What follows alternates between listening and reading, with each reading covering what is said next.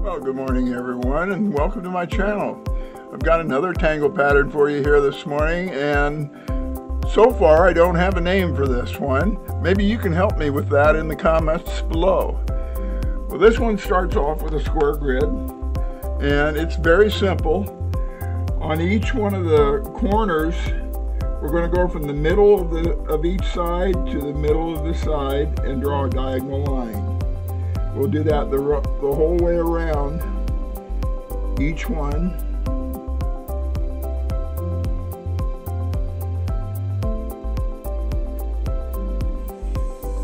And then inside of this square that we just made, we're going to draw diagonal lines.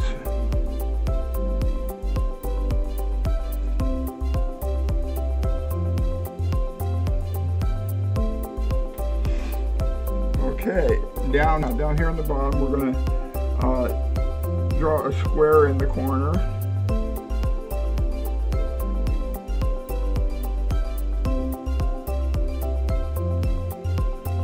And that gives us a square and two, two triangles.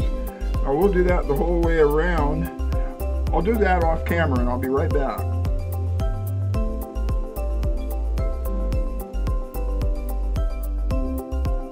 Okay, the only difference in these three squares from the first one is that our little square that we made in the corner ch changes position so that in the end, when we get them done, we've actually formed a larger square here made of four quarters. And the next step, we're going to color every other area, whether it be triangle.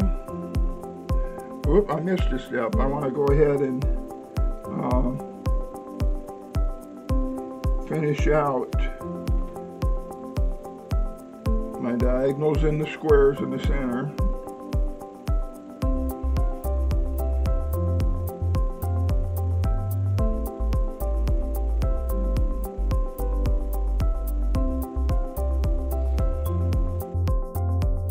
Again, we're going to um, color each of these, every other one of these areas black or white. We'll color it black or leave it white. Start there. This is black, so this will be white. So this and this will be black.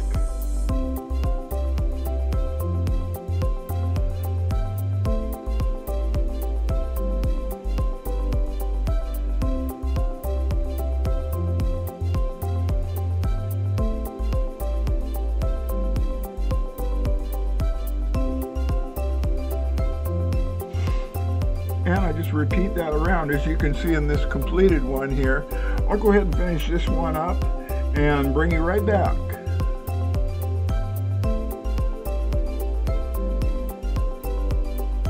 And here the quilt, quilty type pattern is complete, uh, but nameless. Uh, I don't know what I'm going to call this one. If you have any ideas, leave a, leave a uh, mention in the comments below. And anyway, thanks for following along with me. And if you're enjoying my videos, please subscribe.